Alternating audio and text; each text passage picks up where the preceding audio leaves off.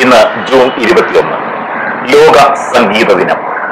നമുക്കറിയാം പ്രകൃതി തന്നെ സംഗീതമാണ്. പുഴകളും കാറ്റും കടലും ഒക്കെ സംഗീതമയമാണ്. ഇന്ന് ലോക സംഗീത ദിനത്തിൽ നാം എത്തിച്ചേർന്നിരിക്കുന്നത് ഒരു സംഗീത ക്ഷേത്രത്തിലാണ്. ശരിക്കും ഇതൊരു ഗ്രഹമാണ് വീടാണ്. പക്ഷേ ഇവിടെ എങ്ങും സംഗീതമാണ്. ഇവിടെയുള്ള ആളുകളും സംഗീതവുമായി ഇഴചേർന്ന് ജീവിതവുമായി മുമ്പോട്ട് പോകുന്നവരാണ്. ലോക സംഗീത ഭവനത്തിൽ നമുക്ക് അതിഥിയായി ഇന്ന് ലഭിച്ചിരിക്കുന്നത് ഡോക്ടർ കെ ഓമനക്കുട്ടി. മലയാള മലയാളത്തിൽ അല്ലെങ്കിൽ ഇന്ത്യൻ സംഗീതത്തിന്റെ തന്നെ അവിഭാജ്യമായ ഒരു ഘടകമായി ഓമനക്കുട്ടി ടീച്ചർ ഒരു ഒരു നക്ഷത്രമായി ഇങ്ങനെ വിളങ്ങി നിൽക്കുകയാണ്. നമുക്ക് മലയാളികൾക്ക് അഭിമാനമായി തന്നെ. ആയിരക്കണക്കിന് ലക്ഷക്കണക്കിന് ശിഷ്യഗണങ്ങൾ നൂറുകണക്കിന് ആയിരക്കണക്കിന് പരിപാടികൾ കച്ചേരികൾ സംഗീതമയമായ ജീവിതം. ശരിക്കും സംഗീതമേ ജീവിതം. ടീച്ചറെ സ്വാഗതം ചെയ്യാം നമുക്ക് ഇന്ന് ലോക സംഗീത ദിനത്തിൽ ഈ പരിപാടിയിലേക്ക് എല്ലാവർക്കും നമസ്കാരം.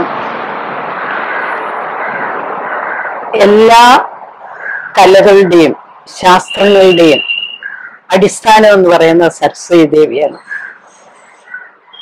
അങ്ങനെയാണ് നമ്മളുടെ എല്ലാം ധാരണ. നമ്മൾ അങ്ങനെയാണ് ആ ദേവിയെ പൂജിക്കുന്നതും അപ്രകാരമാണ് ദേവിയെ കുറിച്ചുള്ള ഒരു ശ്ലോകത്തോടുകൂടി നമുക്കിന്ന് ആരംഭിക്കാം ഉം. വാണി ദേവി സുനീലവേണി സുഭഗേ വീണാരവം കൈതൊഴും വാണി വൈഭവമോഹിനി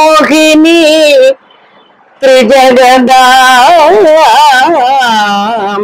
നാഥേ വിരിഞ്ചപ്രിയേ വാണി ദോഷം അശേഷമാശു കളവാൻ നാവിന്റെ ആപ്പാദരം വാണീടേണം അതിന്നു നിന്നടിയിൽ ഞാൻ വീഴുന്നു. മൂകാംബികേ മൂകാംബികേ മൂകാംബികേ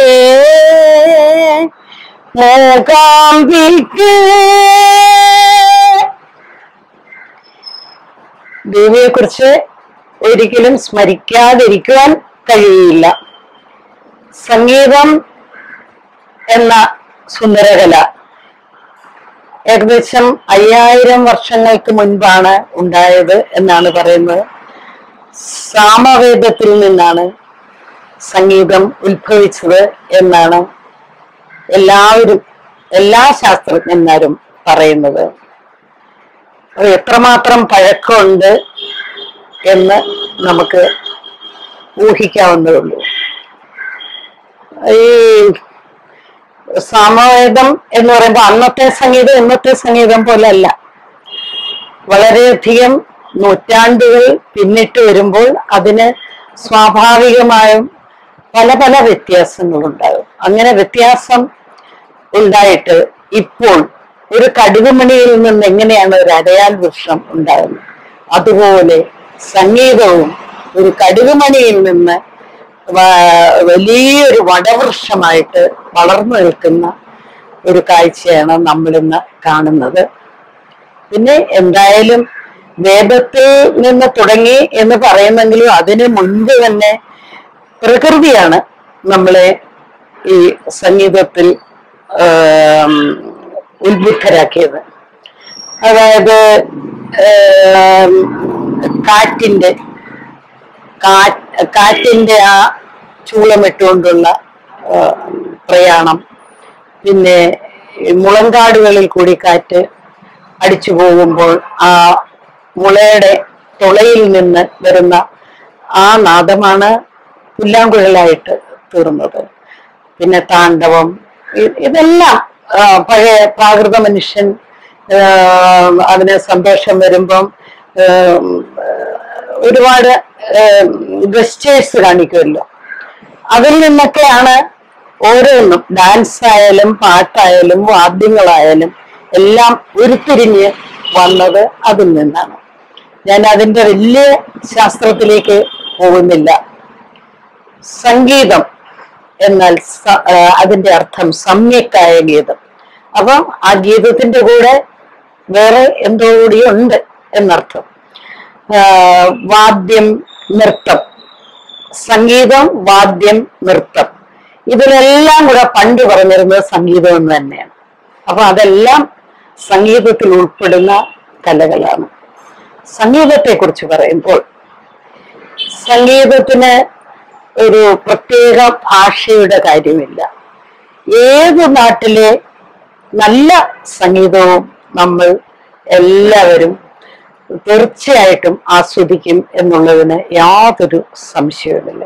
കർണാട്ടിക് മ്യൂസിക്കേ ഞാൻ ഇഷ്ടപ്പെടുകയുള്ളൂ എന്ന് പറയാനൊക്കില്ല ഏത് സംഗീതത്തിലും അതിന്റെതായിട്ടുള്ള നന്മകളും ഇപ്പൊ ആഫ്രിക്കൻ സംഗീതത്തിലാണെങ്കിലും വെസ്റ്റേൺ സംഗീതത്തിലാണെങ്കിൽ എല്ലാത്തിലും നല്ല ചില കാര്യങ്ങളുണ്ട്.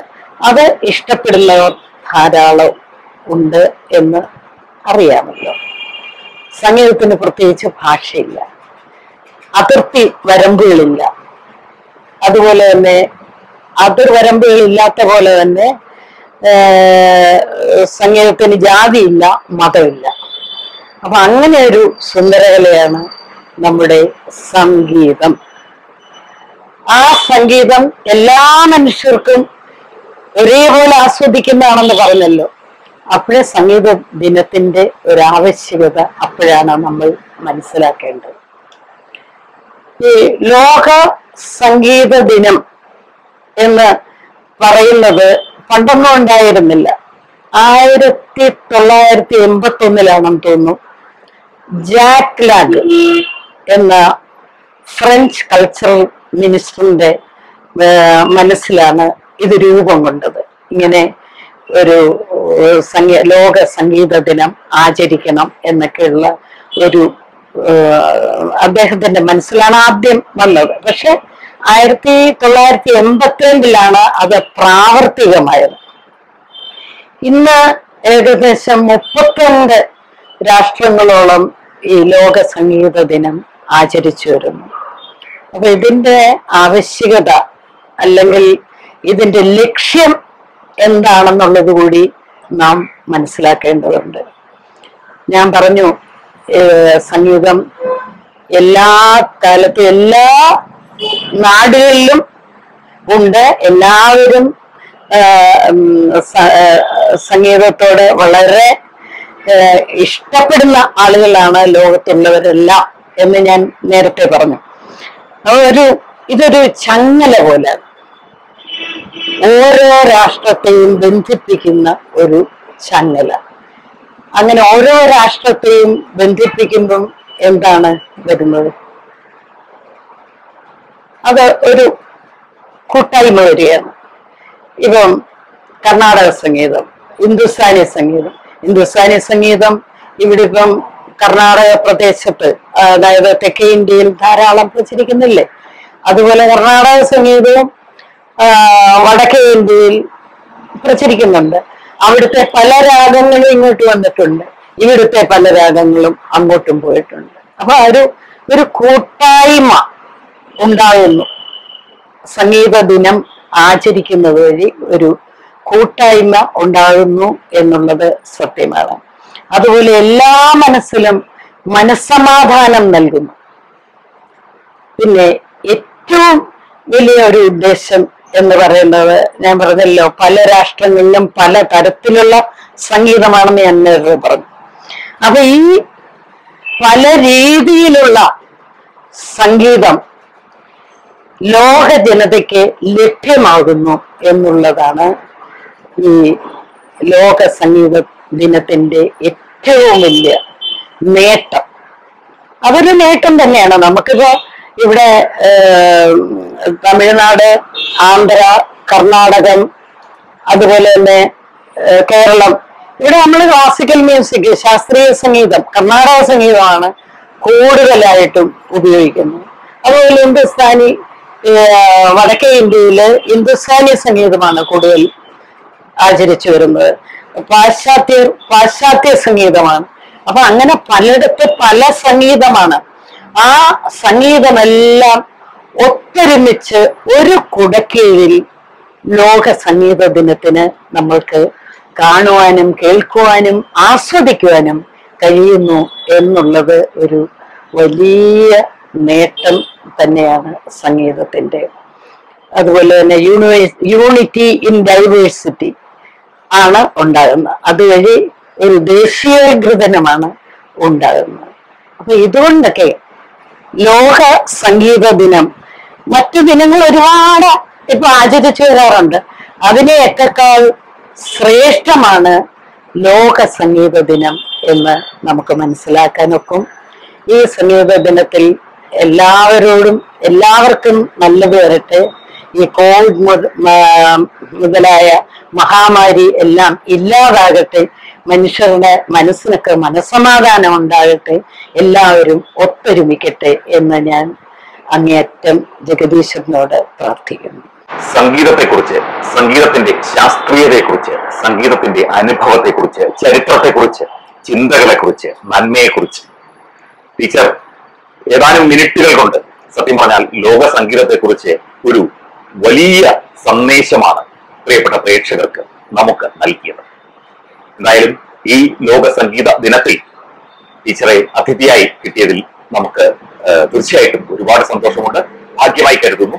ടീച്ചറുടെ തുടർന്നുള്ള സംഗീത യാത്രയിലും ജീവിത യാത്രയിലും ഈശ്വരൻ എല്ലാവിധ അനുഗ്രഹങ്ങളും നൽകട്ടെ എന്നുകൂടി